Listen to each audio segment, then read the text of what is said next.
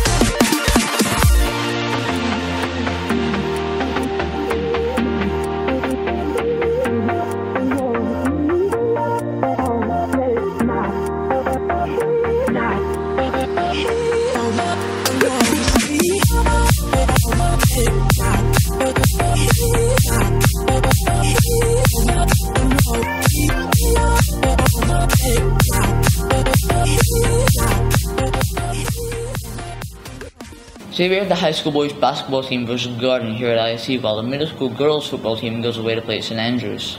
And tomorrow we have the high school boys basketball team play here again at ISE versus Reps. Well, on Thursday, the high school boys basketball team goes away to Ishmael to play at MRISA. And in two weeks from now, the MRISA Arts Exchange team will be traveling to ISPP in Cambodia. Well, on March 10th, we have the middle school boys and girls football team going away to play at HIS.